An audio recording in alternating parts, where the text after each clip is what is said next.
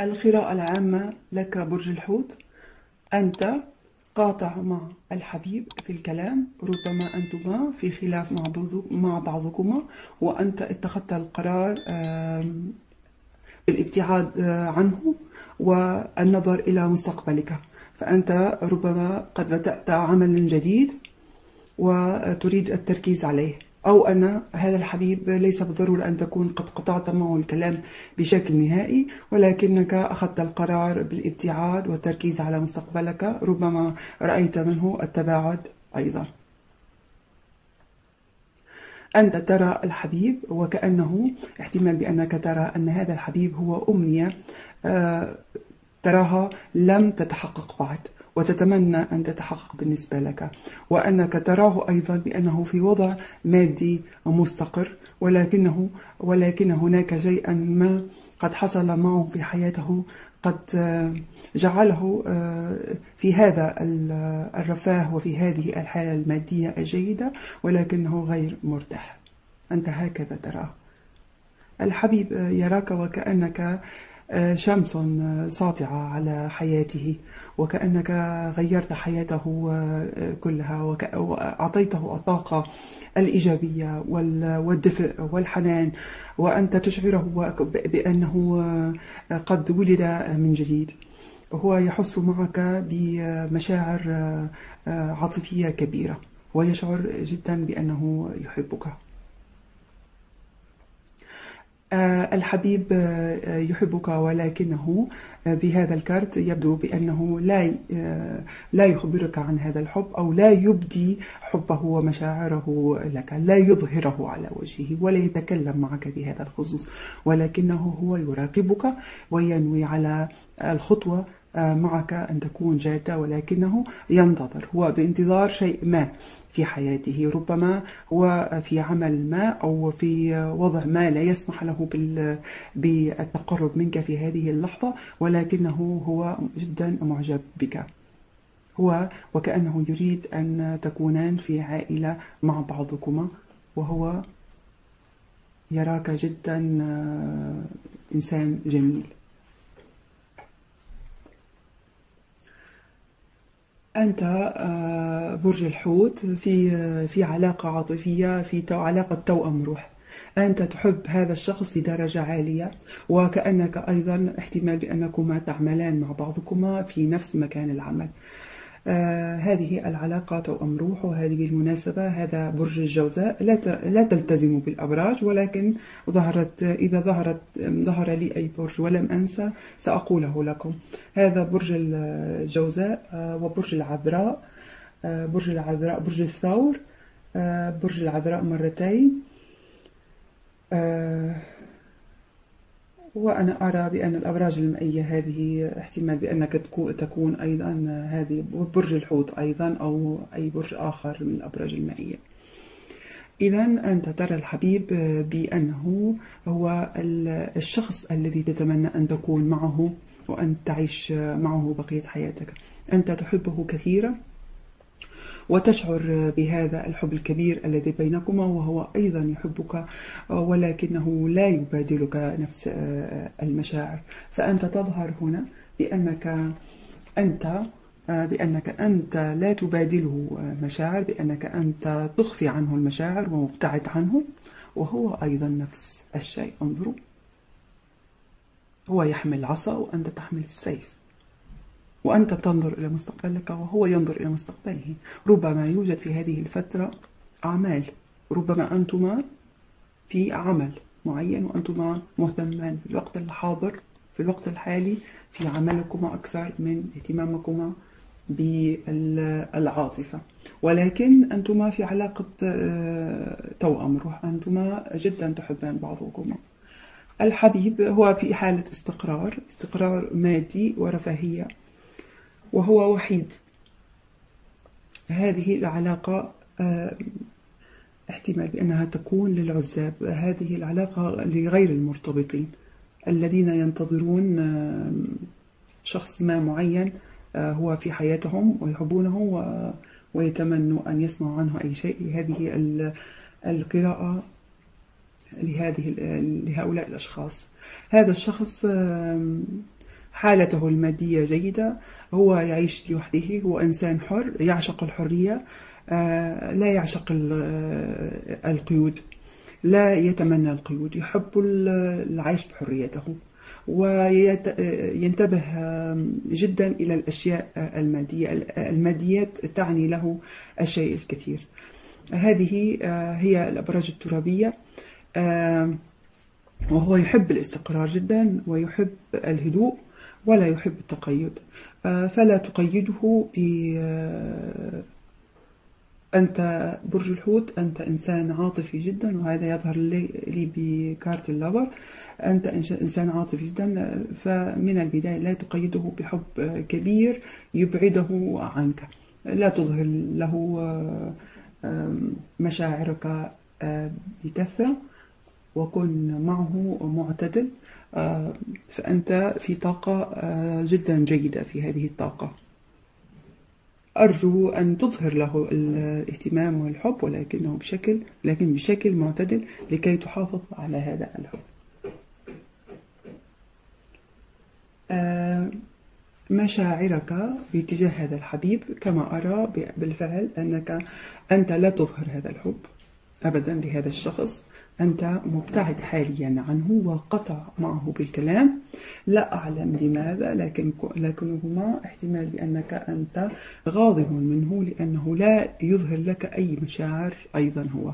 أنت لا تعلم بحبه لك لكنه هو يحبك جدا مثلما أنت تحبه ولكن لا يظهر هذا الحب. ربما لم يحن الوقت المناسب. وهو يريد أن يأخذ هذا البرج هو برج العذراء وهو برج جدا دقيق. لا يعلن عن عن ما في داخله بسرعة. يحاول أن يأخذ وقت وقتا طويل أو برج الثور حتى وقت طويل التدقيق في كل الأمور وقبل اتخاذ القرار المناسب. هو بالبداية هو يريد الاستقرار المادي قبل أن يتقدم لأي خطوة جدية معك. وأنت هذه الفترة أنت يظهر لك أن بأنك تريد الابتعاد وال والجلوس مع النفس والوحدة مع النفس ومراجعة نفسك إذا كانت هذه آه، ما هو السبب؟ مراجعة نفسك. ما هو السبب؟ تسأل نفسك ما هو السبب لابتعادها عن لماذا لا يظهر لي مشاعره؟ لماذا هو مبتعد؟ لماذا؟ لماذا؟ آه، أنا أقول لك بأنه هو آه، أعطه الوقت للتعرف عليك جيدا فهو ليس من الأبراج التي التي بسرعة تنطلق وتقول تعبر لك عن مشاعره هو يحتاج آه، كثيرا آه، من الوقت. ليس آه، مثلك أو مثل أي شخص آخر فأنت إنسان بطبعك رومانسي حساس عاطفي جدا تعبر عن مشاعرك بسرعة. ولكن ليس ليس كل الأشخاص بهذه الطريقة. فهو شخص جدا يحاول أن يدقق في أدق التفاصيل. وفي النهاية بعد وقت آه، يعطي القرار النهائي. هو يجدك أو يشعر بأنك تحاكمه على الكبيرة والصغيرة. ربما أنت تدقق عليه بكلامك بأفعالك. لماذا هذا؟ لماذا هذا؟ وهو آه، يشعر بأنك تحاكمه دائما. أو يوجد بينكما أنت وهو أخذ وعطاء في الكلام. أنت تدينه وهو يدينك إما دائما.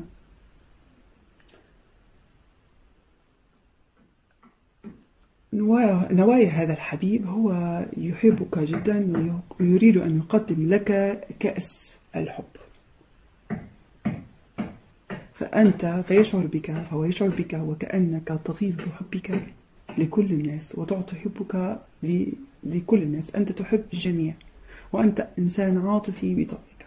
وهو يحب أن يقدم لك المشاعر التي تستحقها.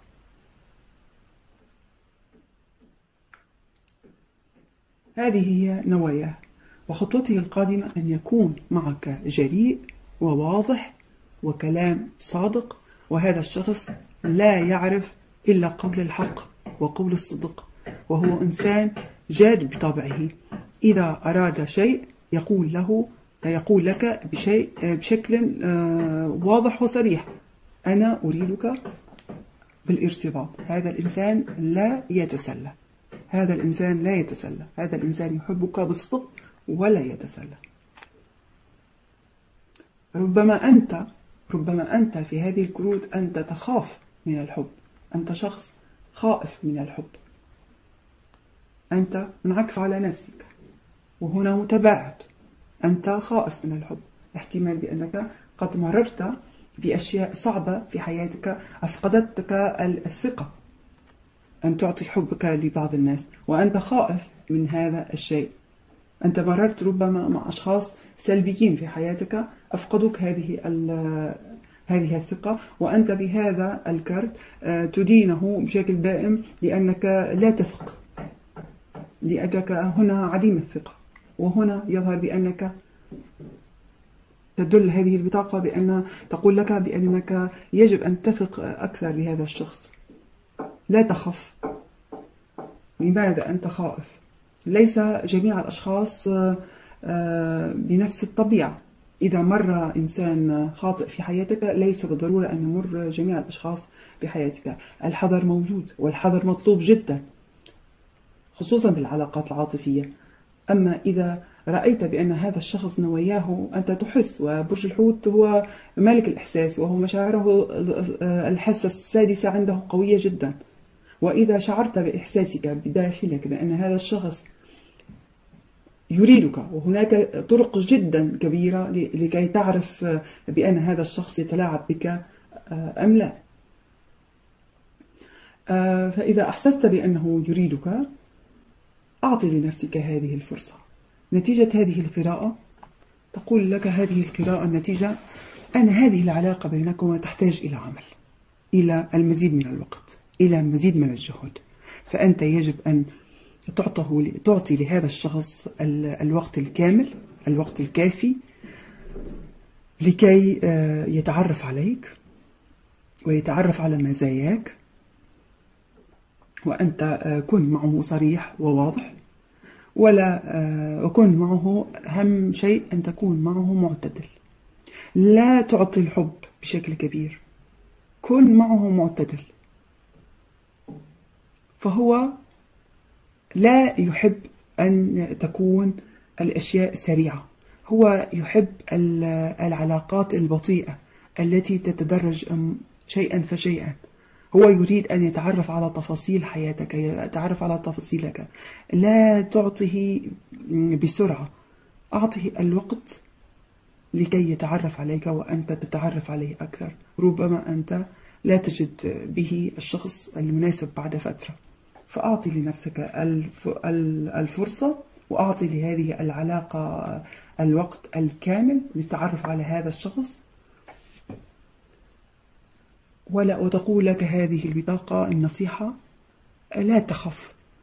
واخرج من المشاعر السلبية أو مشاعر الماضي والخوف من الماضي الذي أنت مكبل به. أنت أنت تشعر بأنك تخاف من كل العلاقات من كل الناس. أنت واقف وفي وفي يدك عصا تريد أن تضرب بها أي شخص يتقرب منك. ليس بهذا المعنى طبعا ولكن أنت تحمي نفسك تريد أن تحمي نفسك وتريد أن تحمي قلبك. أنا أقول لك الحذر واجب ولكن لا تصل بك لدرجة الإكتئاب والخوف من أي شخص في هذه الحياة. آه، يجب أن تخرج من المشاعر السلبية التي كانت آه، التي حملتها معك في الماضي. وإذا كان هناك أشخاص سلبيين ما زالوا مؤثرين على على حياتك إلى هذا الوقت الحاضر علاقات سابقة أو أشخاص سابقين يجب آه، عليك أن تخرج من هذه الطاقة وتبتعد عن هذه الشخص الأشخاص عن هؤلاء الأشخاص السلبيين. فهذا الحب آه، يستحق أن تعطيه الوقت. لنأخذ نصيحة.